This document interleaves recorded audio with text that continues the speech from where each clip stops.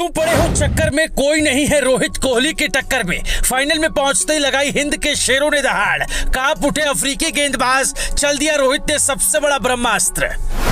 Final से पहले रोहित ने मिला दिया धोनी को फ़ोन, मिल गए जीत के सारे मंत्र। चोकर्स को सबक सिखाने की ठानी। याद दिलाएँगे कोहली फाइनल में, गेंदबाजों को नानी। भारत की जीत से सदमे में आए बाबर रिजवान। क्रिकेट जगत में मच गया कोहराम, सचिन संग मिलकर तैयार हो गया फाइनल का फॉर्मूला एक खिलाड़ी को लेकर टेंशन में दिखे रोहित द्रविड़। जी हाँ जो सुना आपने वो बिल्कुल सच है, क्योंकि रोहित कोहली ने वो कर दिखाया जिसका गुणगान पूरी दुनिया में हो रहा है। आँखों में आँसू देख कोहली का रोहित ने ऐसा बदला लिया जिसने हर किसी को उनका मुरीद बना दिया। क्या सचिन तो क्या धोनी, हर कोई दिग्गज खिलाड़ी रोहित की कप्तानी की दिल खोलकर तारीफ़ कर रहा है। विदेशी धरती पर जो खूटा रोहित ने गाड़ा है, उसने सबको हैरान करके रख दिया है। इतना ही नहीं, रोहित ने वो मुकाम भी हासिल कर लिया, जहाँ तक पहुँचने में खिलाड़ियों को सालों साल लग जाते बाबर आज़म की तो पैरों तले रोहित ने ज़मीन खिसका दी है।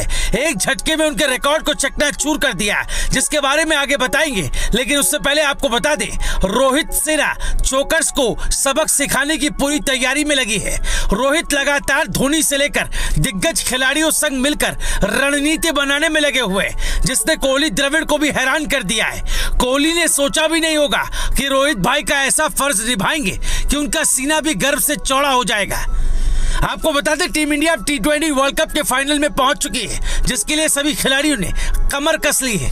दावा किया जा रहा है कि फाइनल मैच को लेकर रोहित एक अलग रणनीति के साथ मैदान में कदम रखेंगे, जिसके लिए रोहित, द्रविड़, धोनी और सचिन संग प्लानिंग बनाने में लगे हुए हैं। मीडिया रिपोर्ट्स में तो ये भी कहा जा रहा है कि भारत के चार खिलाड़ी चोकर्स के अरमानों को चकनाचूर कर इतिहास लिख देंगे, जिसमें सबसे पहला नाम टीम इंडिया के कप्तान रोहित का है, जिनका बल्ला इस पूरे वर्ल्ड कप में जमकर बोला, वो टूर्नामेंट में तीसरे सबसे ज़्यादा रन बनाने वाले बल्लेबाज है। उन्होंने सात मैचों में दो सौ अड़तालीस रन ठोके वहीं ऑस्ट्रेलिया के खिलाफ बानवे तो इंग्लैंड के खिलाफ रोहित ने सत्तावन रन ठोकते फाइनल में वो साउथ अफ्रीका के खिलाफ अपनी बल्लेबाजी से तहलका मचा सकते हैं। दूसरा नाम उनके जिगरी सूर्य कुमार यादव का है, जिन्होंने इस पूरे टूर्नामेंट में भारत के लिए कुछ अहम पारियाँ खेली।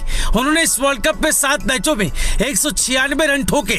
वो अफ्रीका के खिलाफ बड़ी पारी खेल सकते हैं। तीसरा नाम ऑलराउंडर अक्षर पटेल का है, जो इस वक्त बल्ले और गेंद दोनों से छाए हुए हैं। उन्होंने इंग्लैंड के खिलाफ तीन विकेट लेकर तहलका मचा दिया था। साथ ही, जब वो अंत में बल्लेबाजी करने आए थे तो उन्होंने एक छक्का भी लगाया था। उनको अपने ऑलराउंडर परफॉर्मेंस के लिए प्लेयर ऑफ़ द मैच के अवार्ड से भी नवाजा गया। अक्सर साउथ अफ्रीका के खिलाफ काल बन सकते हैं। चौथा नाम देश के आन बान शान कुलदीप यादव का है, जिन्हें वेस्टइंडीज लीग में प्लेइंग इलेवन में शामिल किया गया था। जब से अब तक खेले गए सिर्फ़ चार मैचों में कुलदीप ने दस विकेट लिए वहीं सेमीफाइनल में उन्होंने तीन विकेट इंग्लैंड के खिलाफ लिए थे। यादव अफ्रीका के लिए बड़ा खतरा बन सकते हैं। हालाँकि फाइनल में सबकी निगाहें कोहली पर ज़रूर लगी रहेंगी, क्योंकि विराट का बल्ला भले इस टूर्नामेंट में न चला लेकिन वो फाइनल में अपना दम ज़रूर दिखाएँगे।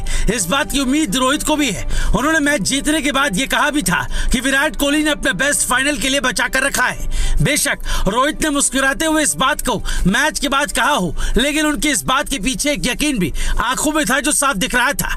अब टीम इंडिया वेस्ट इंडीज के बारबाडोस स्टेडियम में इतिहास रचने उतरेगी और जो 10 साल का सूखा है, उसे खत्म करेगी। Bureau report, Bharat positive.